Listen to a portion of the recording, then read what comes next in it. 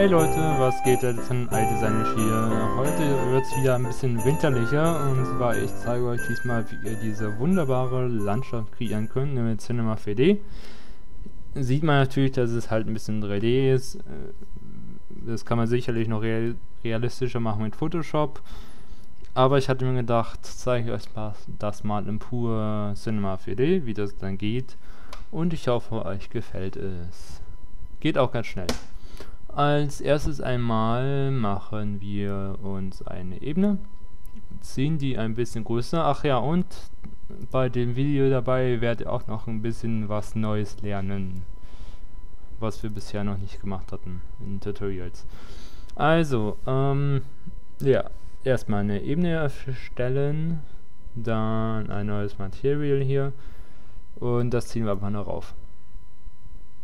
So, dann gehen wir hier auf die, also auf das Layout, die Anzeigen, die ihr hier haben werdet, beziehungsweise in den höheren Versionen, glaube ich, sind die hier nebendran oder sowas.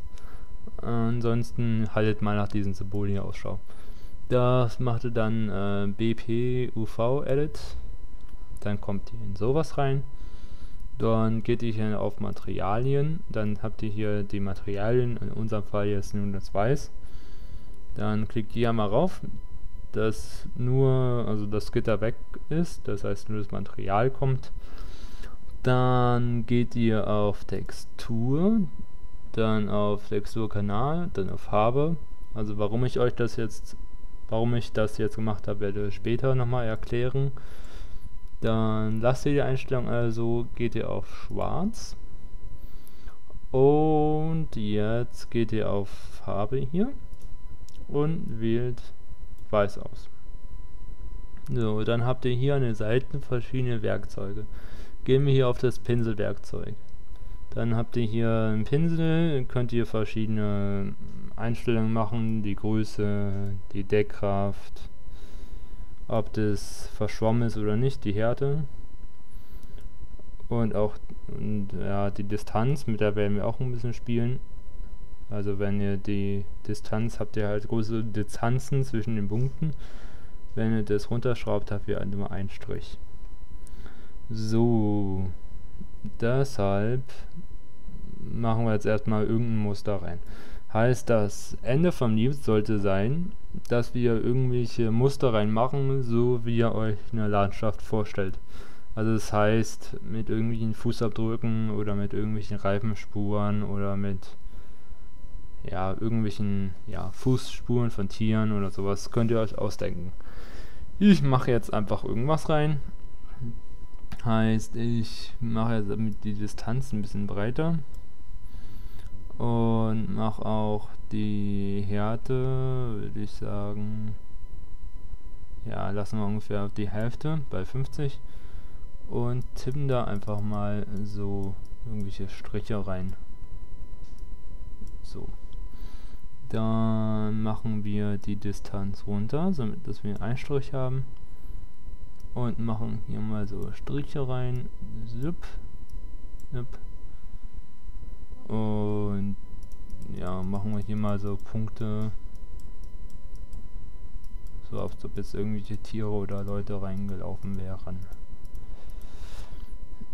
So, dann machen wir die Größe ein bisschen höher, so dass es halt nach Reifenspuren sind. Und jetzt werde ich euch mal etwas zeigen, beziehungsweise damit ihr das mal den Sinn ein bisschen dahinter versteht, warum wir das machen. Und zwar, wenn ihr jetzt weiß auf weiß habt, damit werdet ihr, also mit ganz weiß, werden wir, also das heißt bei uns die Reifenspuren machen, das heißt am Ende wird es so sein, dass das halt das Man der Matsch zu sehen ist als Matsch, also als purer graue Masse oder braune Masse.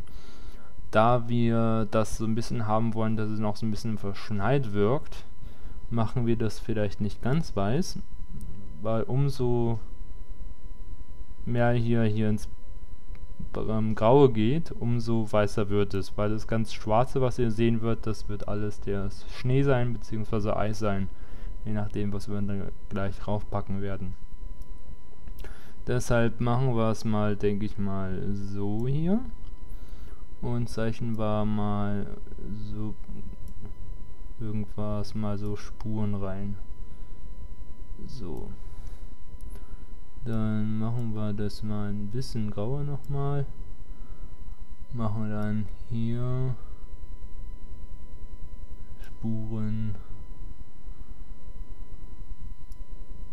Vielleicht mal ein bisschen und dann hier noch irgendwelche.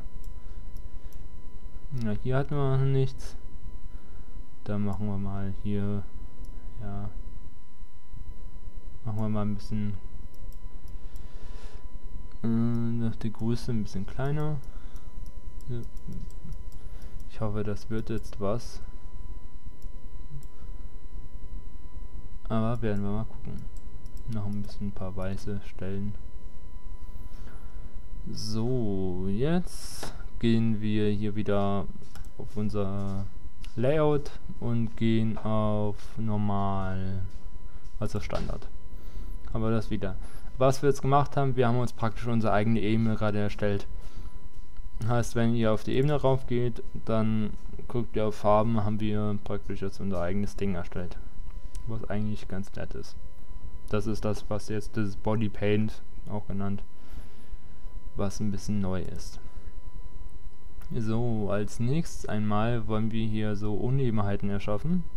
Das heißt, wir gehen jetzt auf dieses Banding-Ding, also nur gedrückt halten und wollen den Displacer haben. Packen den Displacer hier rein und gehen beim Displacer auf Shader und suchen uns unseren Shader aus. Bei Bilder gehen dann auf unser Dinges und dann gehen wir hier, wo war es, auf Objekt und haben dann die Höhe, können dann mit der Höhe spielen. Also können dann unsere Werte je nachdem rausstellen. Ups, ich hoffe, das crasht in meinen Computer. Super. Wenn es negativer geht, dann seht ihr, dann machen wir die Spuren ein bisschen tiefer. Weil wenn du das nach Plus tut, dann haben wir die höher. Äh, nicht so schnell. Machen wir mal 11 oder 10. Dann drehen wir es mal und sehen ein bisschen, okay, das ist jetzt ein bisschen zu glatt, das wollen wir nicht haben. Wir gehen mal ein bisschen ins Negative. Minus, würde man sagen, gucken wir mal 40. Denke, das 40 dürfte okay sein. Jetzt ist das Ding noch ein bisschen zu eckig. Deshalb gehen wir hier wieder zurück auf Shader und machen ein bisschen Spiel mit den Blur rum. Weil wenn ihr das Offset höher stellt, dann werden die Kanten ein bisschen abgerundeter. Allerdings geht dann die ganze Ebene wieder hoch. Ihr müsst dann halt ein bisschen abwägen, wie es für euch am besten aussieht.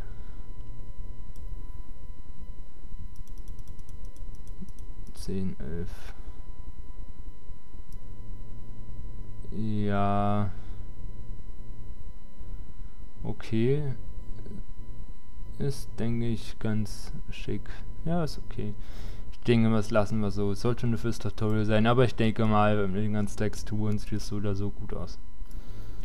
Dann packen wir das Ganze, ja, machen wir erstmal ein Licht. Dann schieben wir dann das Schicke mal hoch. Äh. Und jetzt machen wir uns mal eine neue Textur. Also einen Doppelklick drauf drücken, machen wir die Eis-Textur. Machen dafür dann Relief an und also Glanzlicht haben wir und Glanzfarbe. Ja, bei Relief, also Relief, machen wir unsere Ebene rein, was wir haben. In dem Fall, Quatsch, nee, machen wir ein Alpha rein. Alpha. Weil Alpha heißt ja, dass es transparent wird und das habe ich nur etwas verwechselt. Deshalb gehen wir auf Alpha und Texturen und unser Bild. Zip, haben wir unser Bild. Allerdings wollen wir das invertieren. Das heißt, jetzt haben wir nur die Spuren sichtbar. Wir wollen aber haben, dass der Schnee sichtbar wird und nicht die Spuren. Heißt, wir drehen das um, also invertieren. Jetzt ist es genau andersrum. So, bei Relief gehen wir auf Textur, auf Noise. So, jetzt ist es ein bisschen tricky. Gehen wir mal rauf. Ähm, und jetzt wollen wir damit machen, dass es einen sehr kleinen Noise gibt. Das heißt, wir gehen jetzt mal auf, sag ich mal, 30 bei der Größe. Und dann bei Kontrast. Das ist ein bisschen tricky. Da gucken wir mal, gehen wir mal ein bisschen runter. Also wie gesagt, ihr müsst es wirklich gucken, wie das für euch ist, weil ich saß da etwas dran, um den genauen richtigen Einstellungen zu finden. Und ich hoffe, er ist nicht abgestürzt. Nein. Ich pausiere mal ganz kurz. So, also er hat es doch überlebt, super. So, also gehen wir mal rauf, unser Ding. Und jetzt war ein Relief, neues waren wir drin, also auf 30 Stellen ungefähr, sodass es halt kleine Körner sind. Dann gehen wir auf. Okay, dann gehen wir auf Kontrast, machen wir das 41. Ne? Okay, gucken wir mal, also 41 oder 40 halt. Genau. So, dann gehen wir auf Alpha haben wir Glanzlicht. Gehen wir mal auf äh, 70. Wir wollen es so machen, dass ja, seht ihr gleich. Das heißt, dass die Höhe, also dass es ganz hell scheint. 70, was war das? 80, glaube ich. Ja, seht ihr hier, dass es halt sehr hell wird. Und dann das Ding, die Abnahme machen wir auf 10. Ich denke, so ist okay. Jetzt können wir machen Relief. Ähm, kennt ihr sicherlich von Photoshop oder anderen Dingen. Wollen wir das als Ebene hinterlegen. Das heißt, wir gehen hier auf Textur, auf Ebene gehen auf die Ebene. Jetzt hat er das halt hinterlegt. Die Ebene ist jetzt, also da gibt jetzt ein neues Shader und eine Ebene. Das heißt, wir können das verschiedene neues Shader auf die Ebenen packen. Das heißt, gehen wir hier nochmal auf Shader, nochmal auf Ebene und ja, okay, dann machen wir es direkt, dann löschen wir das äh, Bombe, Bombe. Na. Also. Einfach mal rechte Maustaste und auf Löschen gehen. So, auf Effekte, ne, Shader. Und gehen wir auf Noise. So, dann nehmen wir den Noise. Und ich würde mal meinen, den machen wir jetzt ein bisschen größer. Das heißt, den gehen wir mal, was nehmen wir da? Mal, mal 400. Also, dass es wirklich sehr publik ist und dass es halt, ja, seht ihr gleich, sowas ist. Und mit dem Kontrast gehen wir mal auf 6, ups, nicht 10, sondern 16. Wir können die Werte gleich eh nochmal anpassen. Und dann ist es so, dass wir hier auf die Ebene halt gehen, und dann auf unseren Shader und das nach unten ziehen, damit wir die obere Ebene haben. Jetzt wollen wir das, dass es halt überlappt, das heißt momentan haben wir die Deckfläche 100% von beiden und das ist nicht so praktisch, deswegen gehen wir hier bei oberen, die so kleine feine Körner hat, gehen wir mal auf 20 ungefähr. So, und das machen wir so. Und jetzt schauen wir mal, wie es aussieht. Heißt, wir löschen unser Ding. Ja. Ja, ach so. Jetzt hatte ich das versehen gehabt. Also löschen unseren Shader. Ich dachte, er löscht die ganze Ebene. Und haben wir jetzt unsere Ebene. So, und die packen wir dann hier rauf. Jetzt seht ihr, haben wir die ganze Ebene. Und was ich euch gerade jetzt erzählt habe, ist, wo wir es gezeichnet haben, dass überall, wo wir das also wir haben ja die verschiedenen Farbenmuster genommen und dementsprechend ist es halt auch dementsprechend dann jetzt transparent. Weil je nachdem, wenn wir sehr in schwarz gegangen sind, ist es sehr transparent. Und alles, was ja, andersrum, alles, was weiß war, weiß war damals, war halt ein bisschen sehr transparent und alles, was in Schwarze ging, ist es halt dementsprechend weniger transparent. Jetzt machen wir kurz noch den Match, das heißt, wir kopieren uns diesen einen Shader, STRGC, STRV und Doppelklick drauf und deaktivieren nur den Alpha-Kanal und machen bei der Farbe äh, hm, was machen wir da? Gucken wir mal, ja, machen wir einfach mal ein Braunton.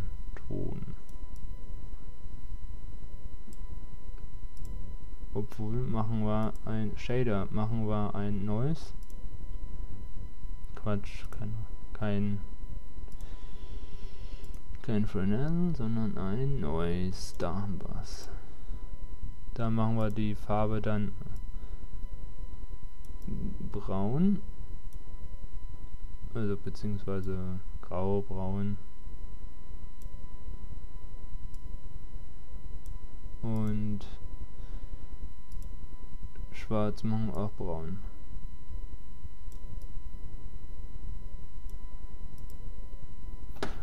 Ja, und schauen wir mal.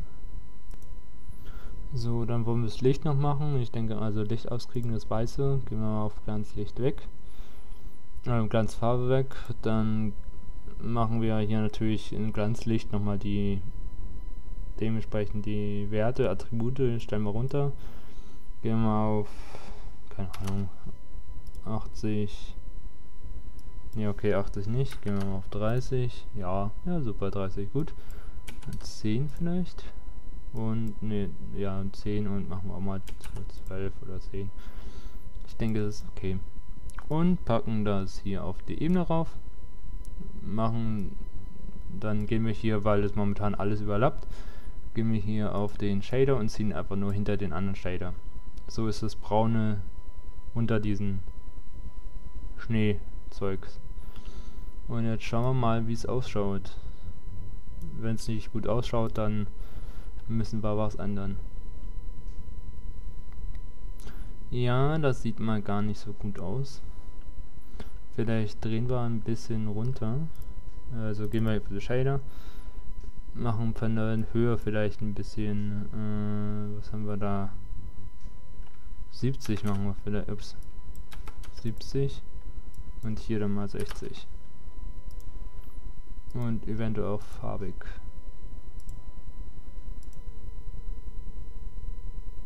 Okay, kommt jetzt schon mal ein bisschen näher. Jetzt fehlt allerdings noch ein bisschen Schneegefühl. Dann gehen wir noch mal rein in den Snow Shader und gehen vielleicht bei Glanzlicht. Ach, da haben wir ja nichts drin, da wollten wir ja was reinmachen. Gehen wir auf also Glanzlicht, auf Textur, auf Noise, gehen wir bei Noise rein, machen das wieder ganz klein, sage ich mal 5 und minus 16 die Helligkeit.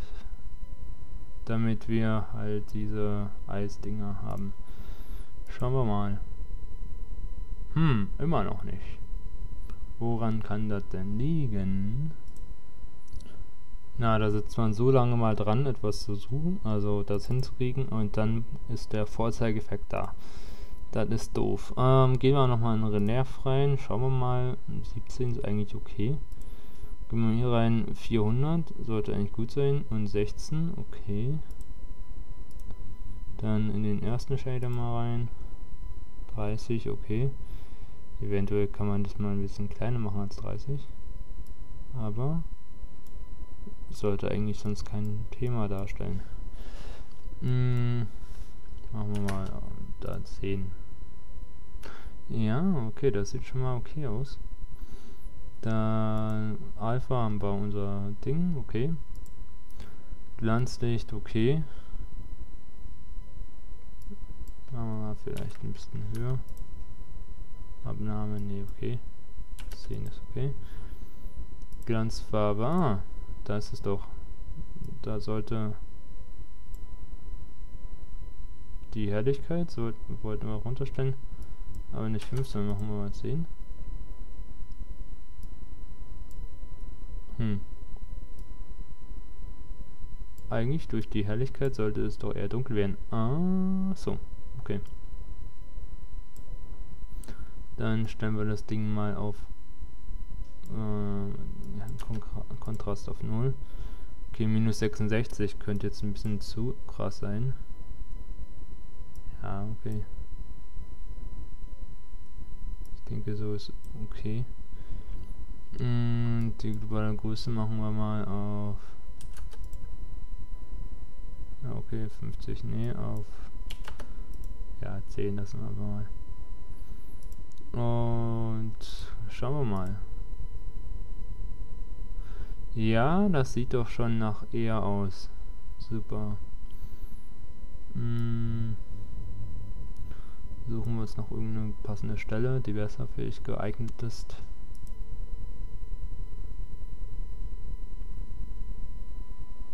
Und jetzt sehen wir schon, gibt es halt diese Königen-Dinger. Wollen wir das natürlich noch ein bisschen ändern. Das heißt, können das vielleicht sogar noch kleiner machen als 5. Und drehen mal ein bisschen mit den Strahlenwerten, dann vermischt, vermischen sich halt die hier oben, die Einstellungen und auf Muse 41 ja okay. Gucken wir nochmal den Rest. Machen wir vielleicht doch mal ab 80 raus. 80 70 und 12 ja oder 10 oder 12 ist sehr wurscht. Relief. Soweit okay. Machen wir es vielleicht mal ein bisschen stärker. Mal gucken, wie es schaut. Ja, ist ein bisschen zu krass jetzt.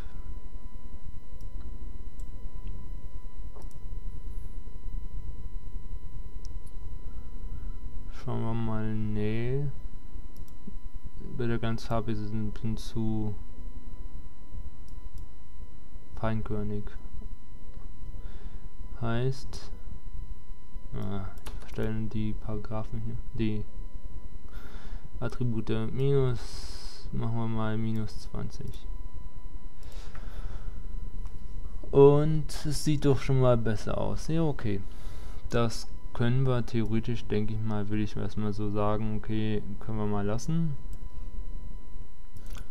So, jetzt machen wir noch das Matching hier ein bisschen. Gehen wir auf den Shader rauf. Gehen eventuell mal in die Farbe rein, schauen, machen das die erste Farbe vielleicht ein bisschen dunkler. Und dann, ja, das ist okay. Dann bei Relief, also Entschuldigung Leute, dass das so lange dauert. Machen wir den Noise auf 100. Schauen wir mal. Und 30 ist okay. 40 ist auch okay dann in die Ebene rein, auf den Shader, 400 ist okay und der Kontrast ist aber 0. Schauen wir mal, vielleicht nehmen wir mal einen anderen Winkel hier. Vielleicht nehmen wir hier mal sowas. Und mal rennen.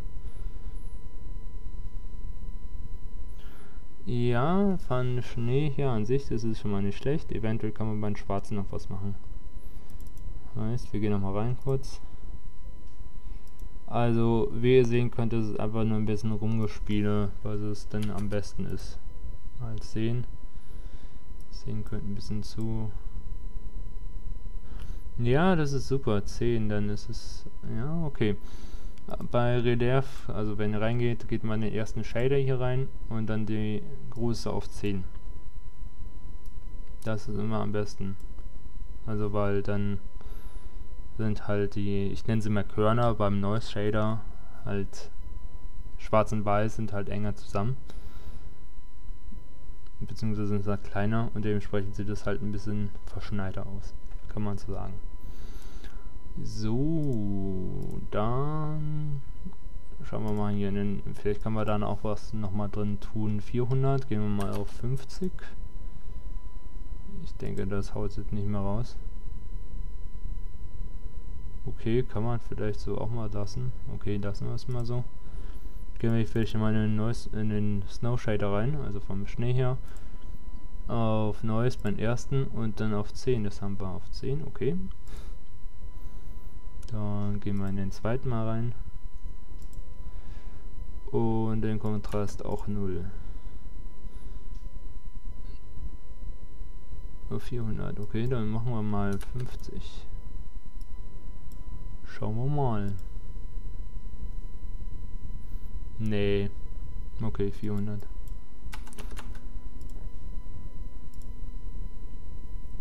Jo, alles klar. So sieht's doch super aus. So, dann machen wir uns eine Landschaft. Gehen wir rauf und machen eine Landschaft. Äh, Landschaft, Landschaft, Landschaft. Bevor wir jetzt weitergehen, machen wir eine Kamera. Wir gehen hier auf dieses Lichtsymbol auf Kamera. Damit haben wir schon mal die Kamera positioniert und deswegen können wir hier jetzt weiterarbeiten.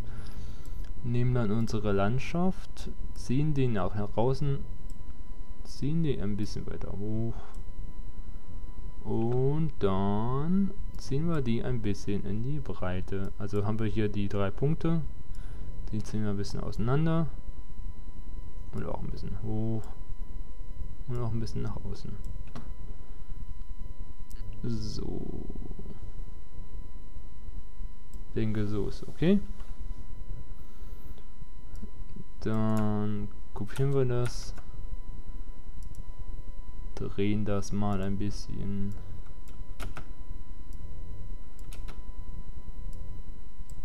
Ja, okay. Und vielleicht können wir das auch ein bisschen verändern.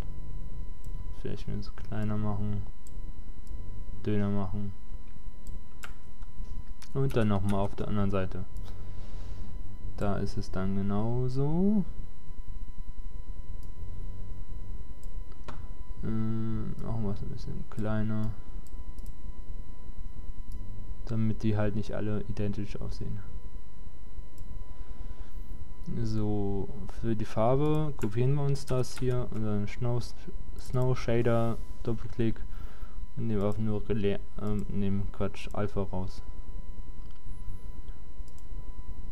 Und packen das auf die Landschaften. Eventuell müssen wir noch mal was am Neues machen. Und gehen wir in die Kamera rein. Aber, aber machen wir erstmal die ganze Szene fertig.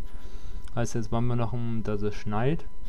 Das heißt, wir gehen hier auf unser wo haben wir, wo die Kügelchen rauskommen, nehmen den Emitter, ziehen den nach oben. Und jetzt habt ihr diese Fläche hier, die drehen wir dann, also Drehwerkzeug. Und so, dass es halt 90 sind. Das heißt, hier in den Koordinaten seht ihr das, das ist es bei minus 85, heißt, ich will es bei minus 90 haben, minus und dann 90. Und dann gehe ich auf Skalieren und ziehe das Ding größer, so dass es ungefähr über die ganze Fläche reicht. Und mache das dann ein bisschen, ziehe das nach oben. Ich denke, so ist okay. Somit, dass man das nicht sieht. Und wenn ihr das jetzt die Timeline ein bisschen vorschiebt, seht ihr, da sind so Regentropfen. Meine ich mal. Und da macht ihr jetzt folgendes. Und zwar gehen wir hier in den Emitter rein. Ja, machen dann, also mal, dass es mehr wird, erstmal machen wir bei Edit 100. Und wie ihr sehen könnt, ergibt es mehr. Und das gefällt uns schon mal. So, dann als nächstes machen wir das beim Himmel gehen auf dieses Lichtsymbol auf Himmel. Und dann machen wir folgendes. Und zwar machen wir uns erstmal eine Umgebung. Das heißt wir gehen wieder hier rauf auf das Lichtsymbol Umgebung. Ähm, dann machen wir uns Texturen. Und zwar gehen wir dafür auf Datei Shader und nehmen uns den Pure Cluster also für die Schneeflocke und dann nochmal auf Shader auf Volume Tracer. Zwar jetzt machen wir erstmal die Schneeflöckchen. Machen wir, also gehen wir eigentlich nur auf die Größe, weil seht ihr gleich, äh, also auf Form, Radius machen wir mal auf 20, ups, na, 20 und packen die Schneeflocke auf unseren Emitter und den Pyrocluster auf die Umgebung. So, dann geht ihr auf die Umgebung und aktiviert Nebel. Wenn ich das jetzt render, seht ihr nicht viel. Das heißt, wir gehen auf Umgebung, weil das ist jetzt die Distanz sehr weit weg. Wir gehen deswegen mal auf 2, 1, 2, 3, 1000. Da, wir müssen jetzt ranzoomen halt. Seht ihr jetzt so. Deswegen gehen wir dafür in die Kamera. Ihr könnt es ganz schnell machen, wenn ihr die Kamera hier habt. Dann geht ihr auf dieses Symbol und schwupp, seid in der Kamera drin. Äh, ziehe mal ein bisschen nach oben. Und jetzt seht ihr, okay, der Nebel ist jetzt ein bisschen dicht. Ich glaube mal, machen wir ein bisschen mehr. Vielleicht können wir auf 3000 sogar hoch. Ja, 3000 sieht doch nett aus. Ups. Gucken wir mal beim Rendern. Ja, ich finde es sieht doch gut aus. Jetzt ist ähm, nochmal der Boden ist jetzt ein bisschen sehr eckig. Den machen wir quasi nach rund. Und zwar indem wir auf unser NURB-Symbol gehen, auf HyperNURB und packen einfach nur unsere Ebene in den HyperNURB rein. Und jetzt seht ihr, es ist etwas abgeflachter. Ja, das sieht doch schon mal ganz nett aus. Dann aktivieren wir noch den Admitter. Heißt, jetzt seht ihr, regnet das ein bisschen. Heißt, wir rennen das. Und haben die Schneeflocken. Und okay, das sind ein bisschen weniger. Deswegen gehen wir auf unsere Umgebung. Ähm, ja, die Distanz, okay, fein. Ne? Wollen wir ja auf unseren Meter gehen. Zum einen auf die Schneekugel. Um die, doch mal den Radius ein bisschen zu erhöhen, machen wir 50. Und auch um unsere Dauer zu erhöhen, also unseren Editor. Das heißt, wir gehen mal auf, sag mal 500. Ja, okay, das ist es. Könnte viel sein. Mal gucken. Okay, das ist schon mal gut. Jetzt sind die allerdings mir noch ein bisschen wieder zu groß. Also wir gehen auf unsere Schneeflocke. Gehen auf die Form auf Radius, gehen auf ne Quatsch, klein machen. Was haben wir? Ja, okay, 20, 30, ja, 30. Gucken wir mal. Okay, 25. Aber warum waren 20 zu klein? Vielleicht habe ich das nur, weil ich kurz vielleicht einfach nur einen falschen das ist zu wenig, Mann. Ja, eigentlich so ist okay. Also 20. Gehen wir hier dann auf unser Cluster und gehen hier einfach nur von Rennermodus auf dunstig. Wie der Name schon sagt, dass es ein bisschen dunstig wird. Und ja, so sieht doch schon mal ganz gut aus. Eventuell gucken wir jetzt mal nochmal in den Matsch, gehen wir rein und gucken wir, was wir dann noch rausholen können. Zwar auf Glanzlicht. Ja, 3010 ist eigentlich okay. Ja, okay. Ähm machen wir da mal 10 raus. Ja, okay. Ähm, einfach indem ihr auf Relief geht und einfach die Stärke runterschraubt. So sieht es doch schon mal ganz gut aus. Ich finde, das hat doch was. Könnte schlimmer sein, könnte aber, denke ich, auch besser sein. Also, ähm, aber ihr könnt wie gesagt einfach Brom spielen, wie ihr wollt. Ihr könnt auch am Anfang, das Malen ist halt wichtig. Ihr könnt damit irgendwas jetzt, irgendwelche Spuren in den Schnee zeichnen, was ihr haben wollt. und dort einfach mal rumexperimentieren. Ähm, ja, ansonsten würde ich sagen, was ist soweit. Was auch wichtig ist, was ich euch am Anfang da gezeigt habt, wenn ihr die Höhe verstellt von der, also von den Displacer, vielleicht können wir das sogar machen nochmal. Ja, können wir sogar machen. Äh, Objekt. Ups. Ja, gucken wir mal. Vielleicht sieht so sogar besser aus. Irgendwie kriegen wir das 3D nicht hin. No. Okay, jetzt können wir mal sehr krass gehen.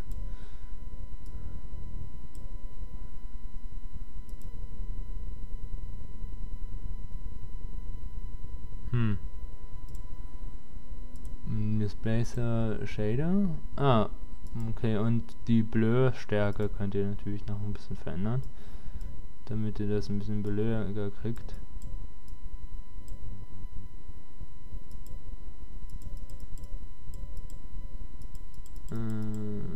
Schauen wir das mal ein bisschen runter.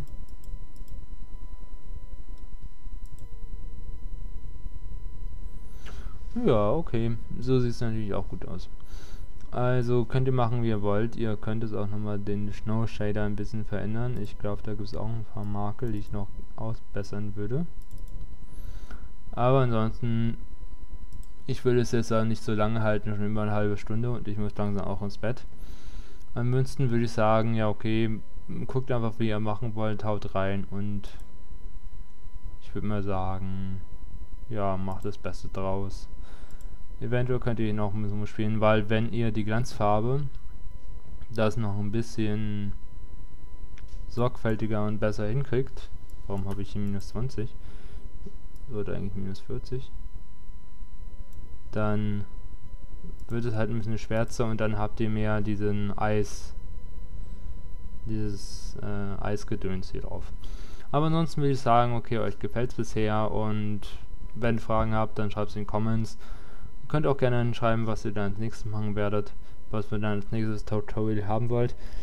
Ich hatte jetzt vor, nochmal ein paar alte Tutorials von After Effects hochzuladen, also alles mögliche, das ich damals aufgenommen habe und deswegen, ja, habt Verständnis, wenn es nicht unbedingt so toll ist wie momentan die Videos. Aber ja, versucht einfach euer Glück und ich würde sagen, bis dann, haut rein. Bis dann. Radios machen auch etwas enger. Also ziemlich eng, so wie ihr das halt gerne haben wollt. Ähm, ich denke, naja, ich denke vielleicht noch ein bisschen größer. Ja, ich denke, das ist okay. Ziehen es erstmal ein bisschen hoch.